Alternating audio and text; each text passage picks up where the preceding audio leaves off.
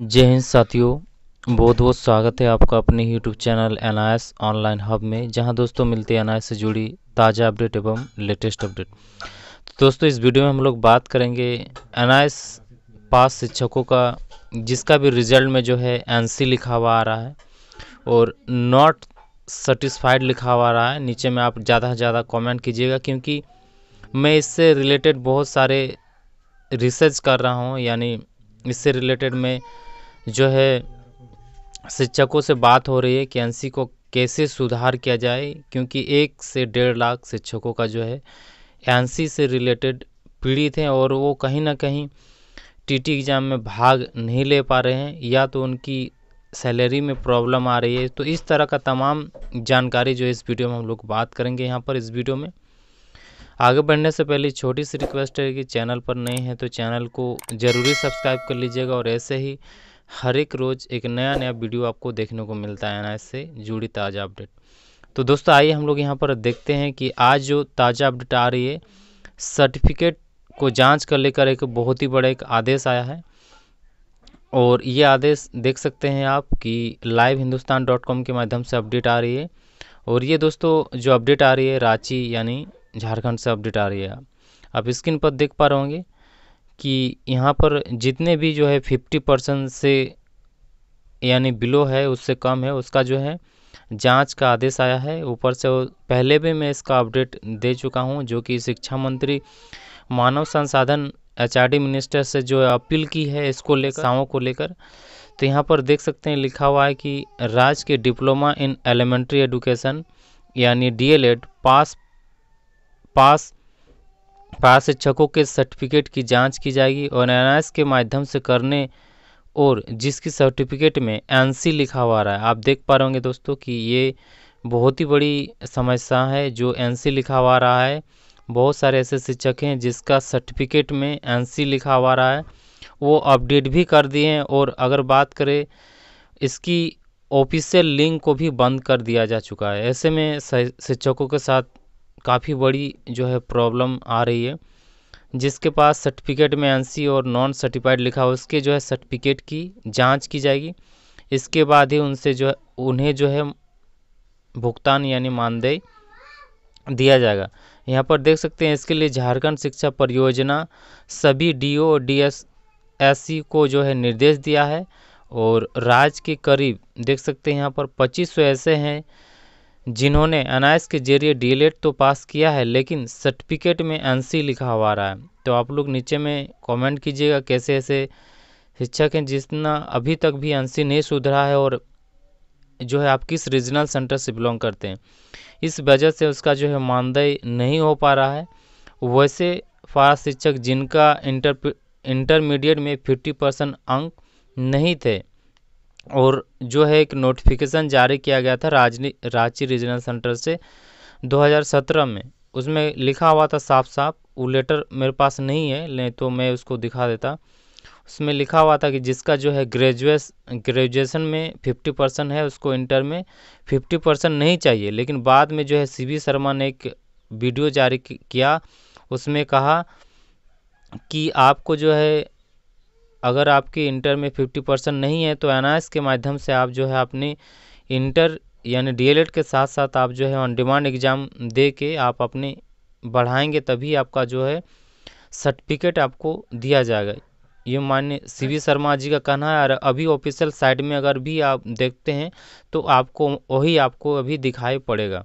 दोस्तों, इसके official website पर देखें तो यहाँ पर लिखा हुआ है कि इम्पोर्टेंट नोटिस और यहाँ पर लिखा हुआ है इजिबिलिटी यानी योग्यता तो पहला नंबर अगर कॉलम में अगर देखते हैं तो आप यहाँ पर देखने को मिलेगा, जिसकी भी ट्वेल्थ में फिफ्टी परसेंट और फोर्टी फाइव परसेंट की यहाँ पर पूरा क्लियर लिखा हुआ है, ये दोस्तों यहाँ पर ऑफिशियल वेबसाइट पर लिखा हुआ है, आप देख पा रहोगे the minimum qualification requirement required for admission in D El Ed O L D for untrained in service teacher is fifty percent marks यहाँ पर देख सकते हैं सीनियर सेकेंडरी ट्वेल्थ और इकोवैलेंस यहाँ पर लिखा हुआ है ट्वेल्थ और इकोवैलेंट यानी दोस्तों, इस, इसका ये मतलब होता है कि ट्वेल्थ में आपका होना चाहिए, या उससे, जैसे ग्रेजुएशन में है, वहाँ भी होने से चलेगा। इकोवैलेंस का मतलब तो दोस्तों वही होता है।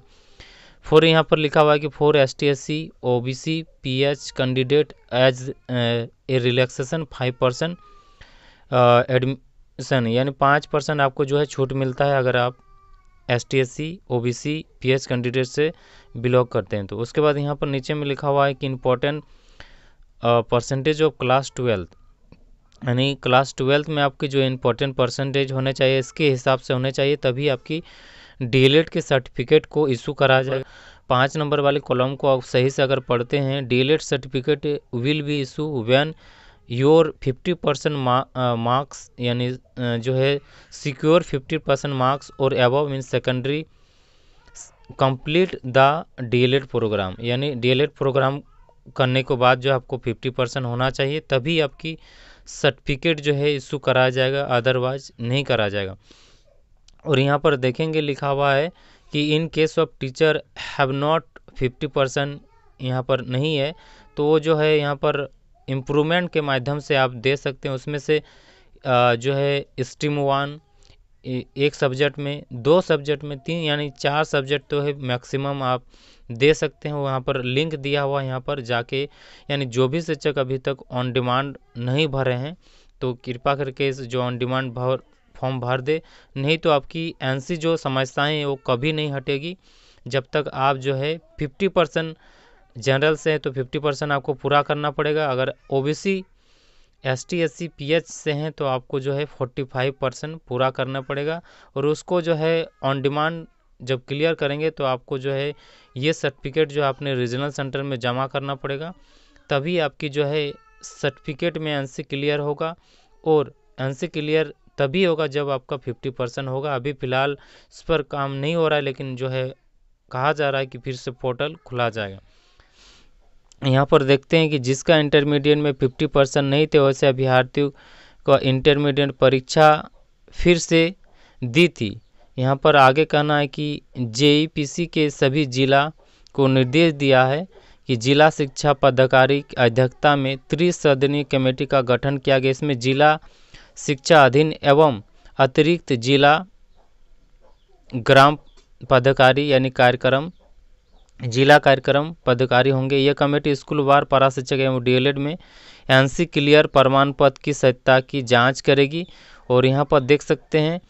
और इससे पहले मैं एक आपको जो है नोटिस दिखाया था कि उसमें मान्य जो है शिक्षा मंत्री ने जो है एच आर मिनिस्टर से अपील की है इसको लेकर।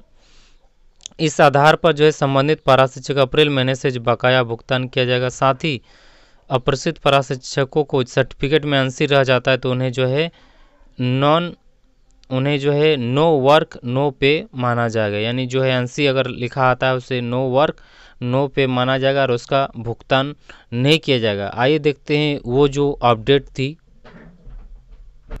दोस्तों, उसके बाद जो है ये दूसरा अपडेट आया यहाँ पर कि नए केंद्र की प्रतीक्षा की जा रही है। इसमें देख पा रहे होंगे कि यहाँ पर शिक्षा मंत्री ने जो है एच आर डी मिनिस्टर यानी केंद्रीय मानव संसाधन विकास मंत्रालय रमेश पोखरियाल से अपील की है और इस पर केंद्र सरकार ने फ़िलहाल कोई इसका जवाब नहीं आया। है जवाब आने पर जो है इसका नियमावली जो की जाएगी अंतिम रूप से, यहाँ पर देख पा होंगे, पूरी अपडेट मैंने इस इसके बारे में आप लोग को बता चुका हूँ।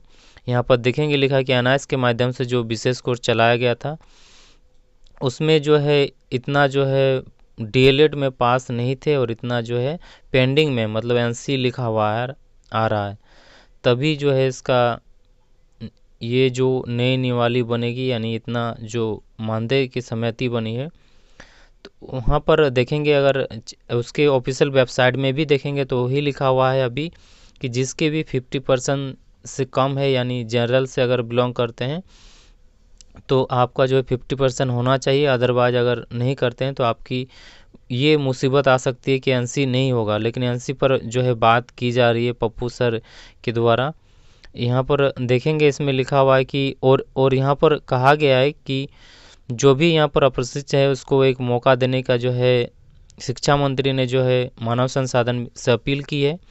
और इसका जो है जवाब अभी तक नहीं आया है और उसके नए वाले तक उसका प्रावधान करने की होना है, केंद्र सरकार ने जो है अंतिम रूप से यह जो है अप्रशिक्षित शिक्षकों को एक मौका दिया है और पिछले सरकार ने भी केंद्र सरकार से पारित किया था, लेकिन वहाँ पर खारिज कर दिया था और केंद्र सरकार ने इकतीस मार्च 2019 तक, जैसा कि आप लोग सभी जानते हैं कि 31 मार्च तक जो है सभी को ट्रेन करना था, उसके पास समय नहीं था। एनआईएस के माध्यम से डी को, विशेष कोर्स के रूप में चलाया गया था और यहाँ पर देख सकते हैं, इतना टीचर ऐसे हैं जो कि डी पास नहीं किए और इतना ऐसे हैं जिसका सर्टिफिकेट में एनसी और नॉन सेटिस्फाई जैसी समस्याएँ आ रही है। यहाँ पर देखेंगे कि बजट सत्र, आज जो है बजट सत्र की जो है पहली दिन है। तो दोस्तों, इसी तरह लेटेस्ट अपडेट के साथ चैनल पर बने रहे। जो भी अपडेट आएगा, मैं चैनल के माध्यम से देता रहूँगा। जय हिंद।